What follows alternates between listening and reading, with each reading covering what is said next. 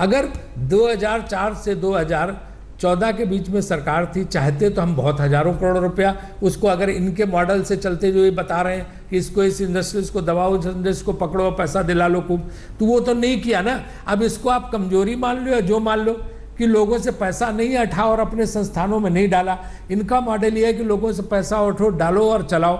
उसमें भी कैसे चला रहे हैं? अभी वो सारे, पता ही आपको, पांजन कैसा चल रहा, तरुण भारत बंदी हो गया है मेरे ख्याल से वहाँ पे।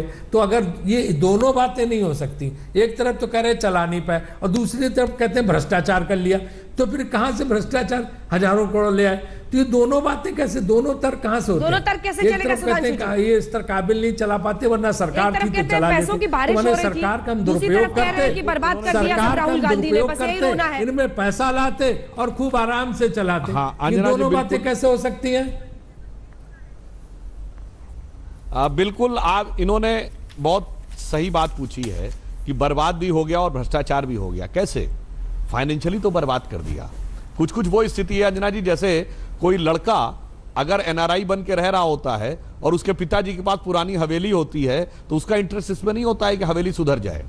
उसका इंटरेस्ट इसमें होता है, हवेली और जर्जर हो जाए, फिर किसी अच्छे बिल्डर को वो हवेली बेचकर मैं अपना पैसा निकाल लूँगा। इसलिए इन्होंने उसको जर्जर होने दिया। वरना आप सोचिए कि कांग्रेस पार्टी इतनी बड़ी पार्टी में करो जितने कार्यकर्ता थे, अगर उन्होंने आंशिक कुछ अंशदान कर दिया होता तो कितना पैसा आ जाता? आरोप लगाते थे ना हम लोग के ऊपर कि राम मंदिर के जमाने में हमने इतना पैसा इकट्ठा किया। अरे, आपकी प्रचंड बहुमत की सरकारें थी, हमारे पास तो सरकार का सा नहीं था। और उस जमाने में अगर जन भावना जुड़ी हुई होती है, कार्यकर्ताओं का मनोभाव जुड़ा हुआ होता है तो कितना पैसा आ जाता है? तो अगर आप कह रहे हैं कि आप फ्रीडम स्ट्रगल की उस भावना से जुड़े थे पंडित नेहरू, सरदार पटेल, उस जमाने में देखते थे तो क्यों नहीं आता?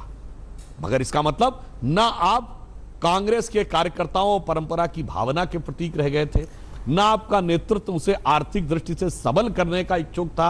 आपका केवल उद्देश्य यह था कि समहाउ एक टेक्निकल प्रोसेस करके उसकी जो संपत्तियाँ हैं, उनको आप किस प्रकार से यूटिलाइज कर लें।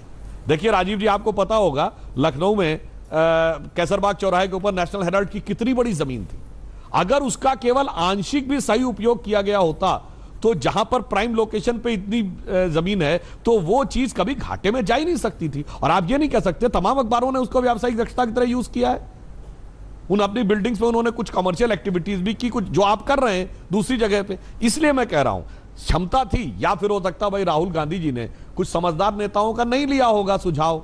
जैसी कि उनकी आदत है। मैं ये नहीं मानता कि कांग्रेस में कुछ समझदार लोग नहीं है। देखिए राजीव जी आप इसको कहीं से भी बचाइएगा कहीं से निकालिएगा ये सिर्फ़ और सिर्फ़